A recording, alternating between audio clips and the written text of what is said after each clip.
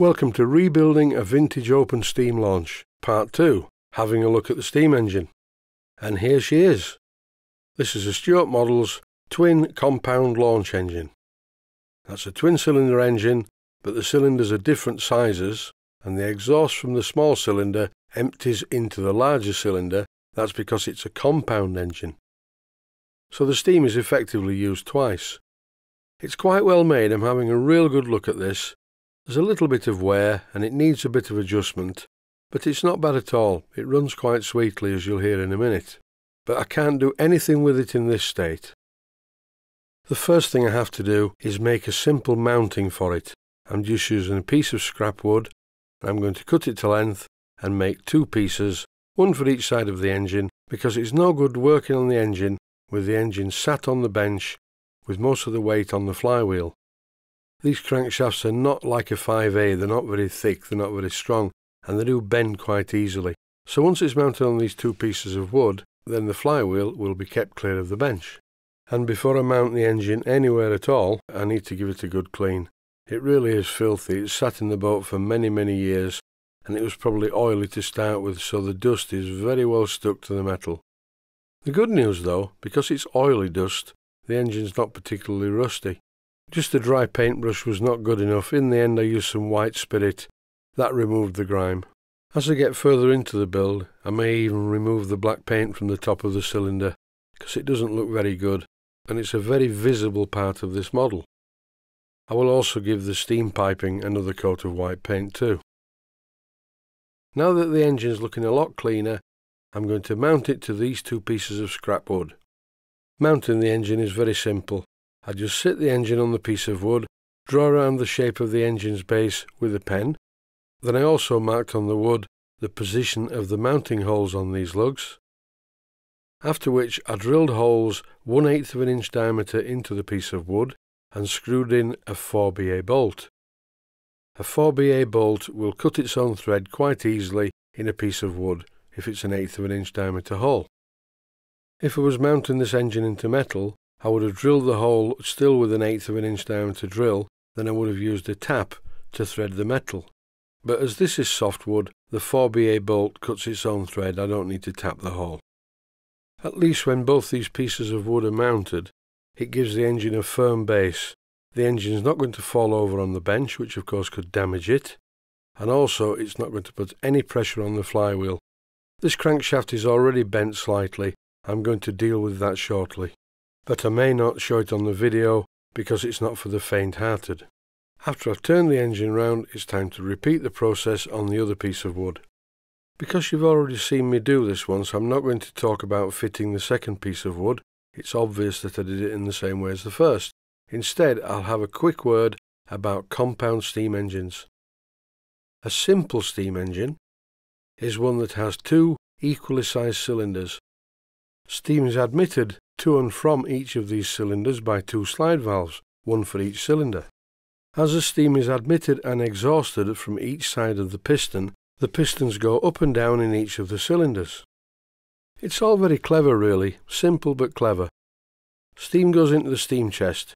It's admitted to one side of the piston, it moves the piston up, and then the steam is allowed to escape to exhaust as the slide valve moves to the exhaust position for that particular cylinder. It's quite difficult to explain, but once you know how it works, it's very, very simple. And this is happening for each cylinder. The cylinders work together.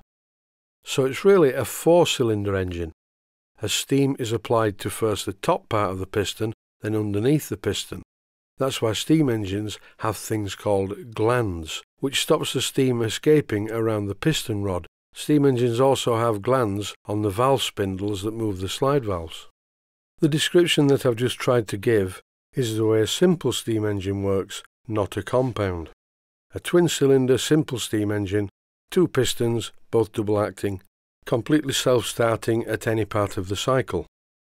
A compound steam engine is different. A compound steam engine has one small cylinder and one large cylinder.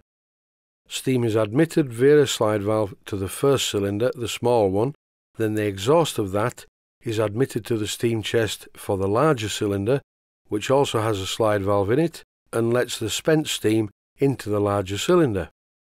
and because one cylinder is a high pressure cylinder and the other one is a low pressure or intermediate pressure cylinder, the steam is effectively used twice. Couple that with a good degree of superheat, that's very hot steam going into the first cylinder, and the whole thing becomes much more economic. But there's a trade-off. There is always a trade-off. You don't get anything for nothing, not in this game. When you have a simple steam engine, admit the steam, full power straight away on any given cylinder. With a compound, it doesn't work like this. Mainly the steam is going into the first cylinder and as you notice here I have to give it a shove to make it start. If the compound engine stopped precisely in the right position every time it wouldn't be a problem but it doesn't. So it isn't always self-starting, sometimes it is, sometimes it isn't. You can of course mess around with the timing and you can drive yourself quite mad and then men in white coats will come and take you away because you can get it just so, so it nearly always starts, but then it doesn't. And you have a situation. It's a lovely cold winter's day, and the boat is in the middle of the lake, and your beautiful model boat has got no inclination to go anywhere, because the wonderful compound engine has refused to start because its cranks are not in the right position relative to where the steam has been admitted, and you've no way of getting it back other than wading in to get the boat or swimming across the lake and it's freezing cold. So you have a choice. You either just watch the boat cremate itself and emulate a Viking funeral, or you get your kit off and get in the water. This sounds like a wonderful hobby, I hear you say. But look on the bright side, it's not a model aeroplane. They have a habit of hitting the ground at a great rate of knots, and you just need a bin liner to put the bits in. You may have noticed that this engine runs quite well. You also may have noticed, and I've mentioned it before, that the flywheel's a little bit wonky. I will put that right later. But it really goes well. It really does go well. And sometimes it starts, as you can see, I'm stopping and starting here, and I'm not flicking the flywheel. But then it doesn't start, and I have to give the flywheel a push.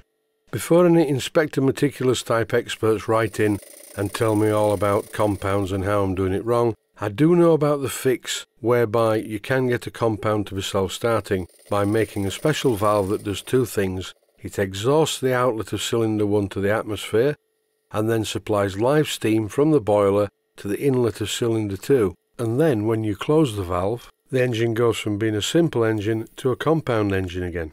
So therefore it's self-starting as a simple and then will run as a compound just by moving the lever on the valve which is all very well, but a little bit beyond the scope of what I need to do with this boat.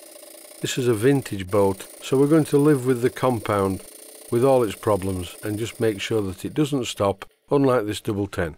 The radio control system will include of course a gas shut-off valve, just in case the engine does stop. And here's a bit more stopping and starting of the compound to illustrate the point. And once again, just so you don't think it was a fluke, here is the compound, and when I stop it, I have to start it. The cylinders on this Stuart compound launch engine are bigger than the ones on a double 10. So effectively, a twin launch compound is a more powerful engine than a double 10. Double 10s are great for certain applications, and they're okay for inside boats. I don't really care for them in open launches, although I have put plenty of them in open launches. But this Stuart model's twin launch compound engine really looks the part in an open launch. And that's it for now. You'll see me work on the engine in due course. Thanks for watching and I hope you found it useful.